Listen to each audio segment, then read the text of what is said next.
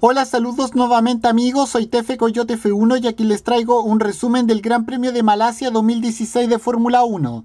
Bueno, como ustedes saben, este fin de semana, este pasado fin de semana se disputó el Gran Premio de Malasia de la temporada 2016 de Fórmula 1 que fue, como siempre ha sido, en, el circuito de Sepang en Kuala Lumpur, capital de el país eh, malayo. Eh, como sabemos, el ganador de la carrera fue el australiano de Red Bull Daniel Ricciardo, quien no ganaba desde el Gran Premio de Bélgica de 2014, es decir, de hace dos, de hace dos años.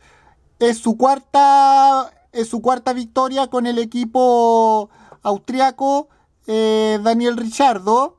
Eh, en segunda posición llegó su compañero de equipo, el joven holandés Max Verstappen, eh, quien, quien antes había ganado en España y fue la primera victoria de esta temporada para Red Bull. Y en tercer lugar llegó el germano finés, actual líder del campeonato eh, de Mercedes, eh, Nico Rosberg. Por ejemplo, Lewis Hamilton estaba liderando la carrera hasta que se le quemó el motor eh, mientras estaba intentando ganar. Eh, Sebastián Fettel tuvo un accidente eh, con Nico Rosberg en el principio de el Gran Premio de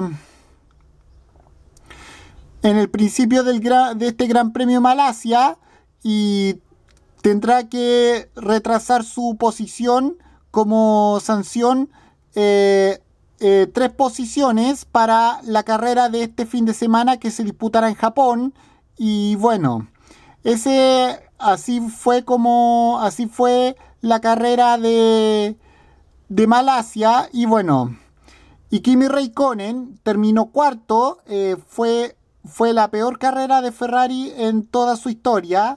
Y bueno, espero que Ferrari en la próxima carrera en Japón que será este fin de semana no tenga eh, no tenga eh, los mismos errores de siempre. Así que espero que Ferrari tenga una mejor carrera para Japón en este por lo menos eh, en este 2016 bueno con esto me despido. Nos vemos en otro video. Soy Tefe Coyote F1 adiós cami fuera. Chao